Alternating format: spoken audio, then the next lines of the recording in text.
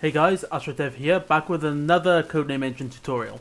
In today's video, I'm going to be teaching you how to make custom note types. In this video, I'm going to be covering two of the most common note types seen in mods, but if you need any help, don't hesitate to comment below. Also, I'm trying a new editing style, so let me know what you think of it and if I should do it more. So, let's get started. So first off, you will need a custom note sprite to obviously represent your note, so players know whether to hit or avoid it.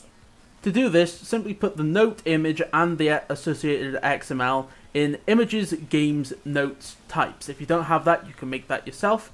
Uh, then we will need to change the note sprite in the script. To get started, I'll show you guys how to make a simple hit note. To do this, make a folder in data called notes. If you don't already have it, you can make it now.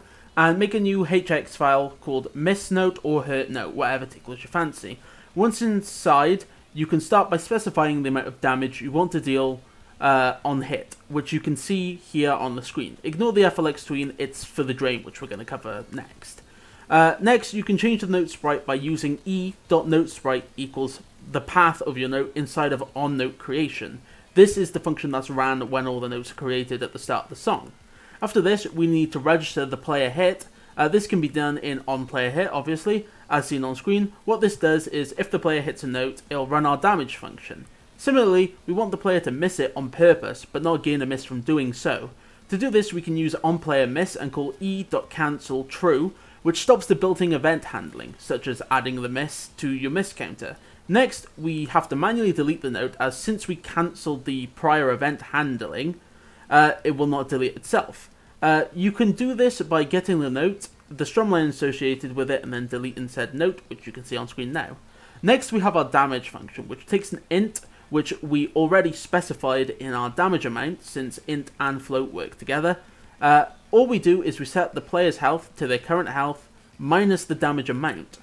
And now onto the drain note. To make a drain note, the process is basically the same, except you need to import the tween library at the top, which can be done with import flixel.tweens.flxtween, uh, next, just change all the if checks to check for the drain note instead of miss note.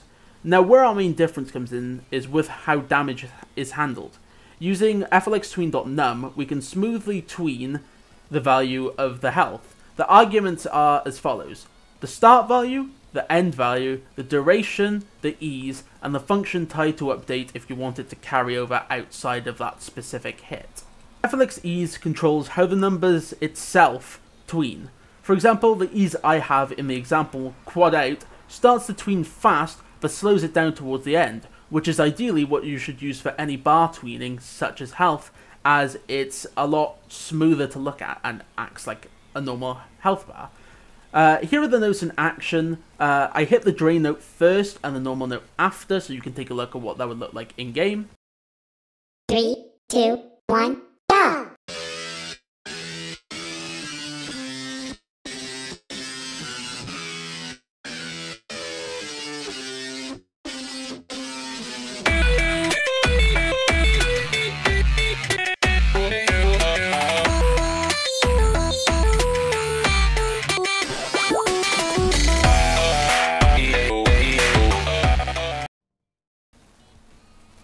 But yeah, with that said, the code below will be in the description and uploaded to FunkinScripto whenever I release that. Uh, more info on note types and how they work can also be found on the Codename Engine documentation, which is also linked below. But with that said, don't forget to suggest some more tutorials down below, and like and subscribe as I am trying to hit at least 1,500 subs by the end of the year, and I really think we can make it. But with that said, uh, the next video I'll make will be a devlog on my very cool horror game I'm making, so look out for that. With that said, I'll see you all in the next video. AstroDev, out.